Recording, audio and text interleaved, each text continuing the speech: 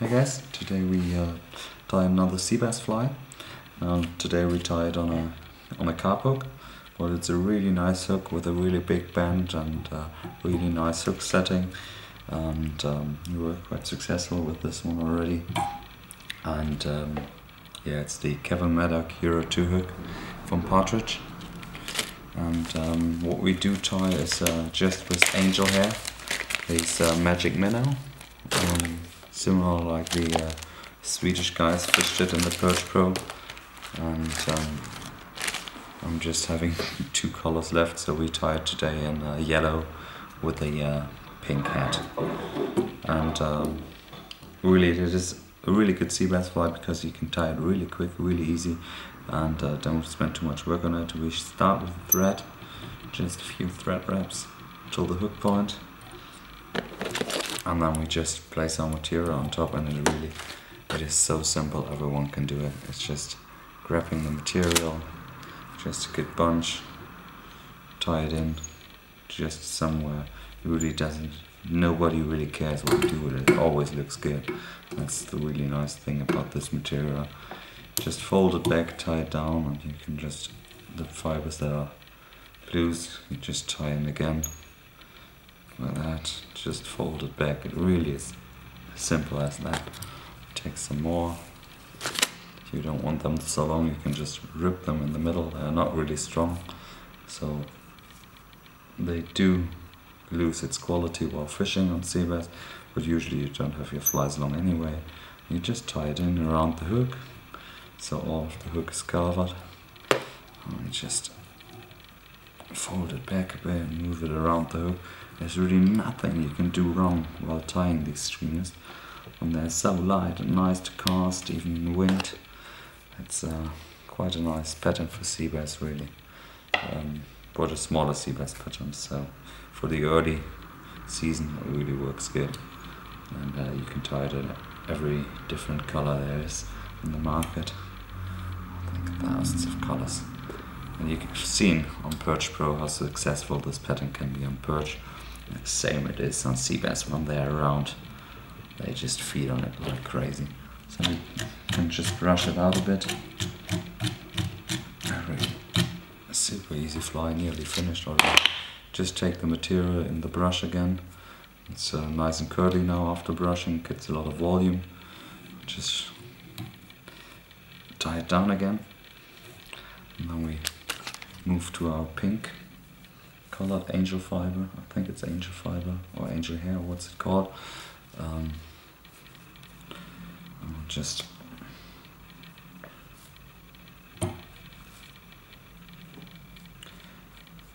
tie it in, take a bigger bunch for the head. I ripped the fibers in two. And then just tie it down. And um, I think I yeah I got these um, this angel hair or angel fiber from from ADH Fishing. Uh, you can check if I find it, and I can put the link in the description. And that's it. Just make a knot in the head, maybe a second one to secure it, and then the fly is finished. Put a little bit of glue onto the fly. Really not much. Bowl is nearly empty. It should be fine when we just brush it out. It just makes the fly look so nice. And when they're wet, they just look amazing because they're just so kind of translucent. Um, the fibers are just just blending really nice and it seems more orange than uh, in, in the transition part than actually yellow and pink. But uh, yeah, so this fly is finished.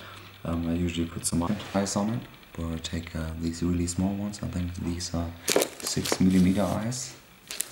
Um, a little bit harder to find, but